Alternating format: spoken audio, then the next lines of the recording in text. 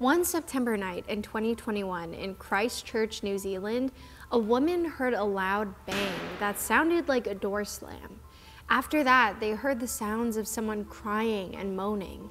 Looking outside, the woman saw a man wandering around the street. He was sobbing hysterically. Another neighbor heard this man as well, and when she asked the man if he was okay, he didn't answer.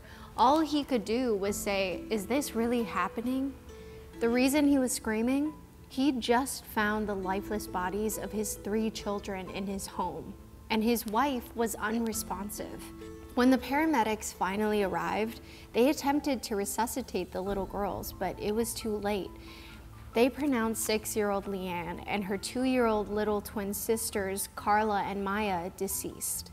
The cause was fairly simple to figure out, considering there were cable ties around the little girls' necks.